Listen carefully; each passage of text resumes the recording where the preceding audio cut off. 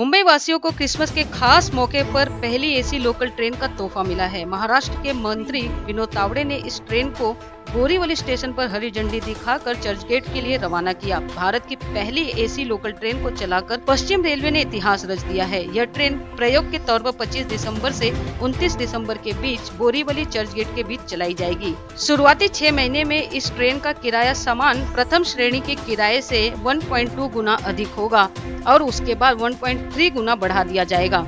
Weekend पर इस local train में सफ़र करने वाले लोगों के लिए थोड़ी दिक्कत होगी, क्योंकि यह ट्रेन शनिवार और रविवार को नहीं चलेगी।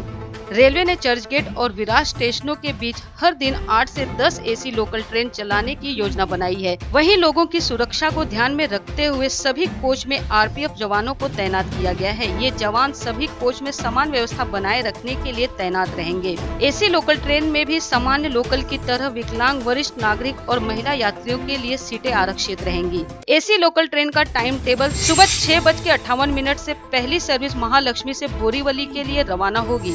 बोरीवली से सात चौवन पे तो विराज से दस बाईस, एक अठारह, चार बाईस, नौ चौबीस पर चर्च गेट के लिए रवाना होगी।